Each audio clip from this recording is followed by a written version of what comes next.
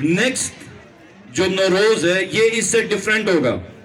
ये ये भी आप हमारा ऐलान सुन लें कि नेक्स्ट जो नौरोज है, इस पे पोलो का जो मैच है, वो इस तरह नहीं, हमारे जो प्लेयर्स हैं, उन्होंने बड़ी तैयारी कर दी है। क्योंकि अगली दफ़ा हम पूरी दुनिया से टीमें पोलो की लेके आ रहे हैं। इटली से आएगी, फ्रांस से आएगी जहाँ जहाँ से लेकर हम लेके आएँगे।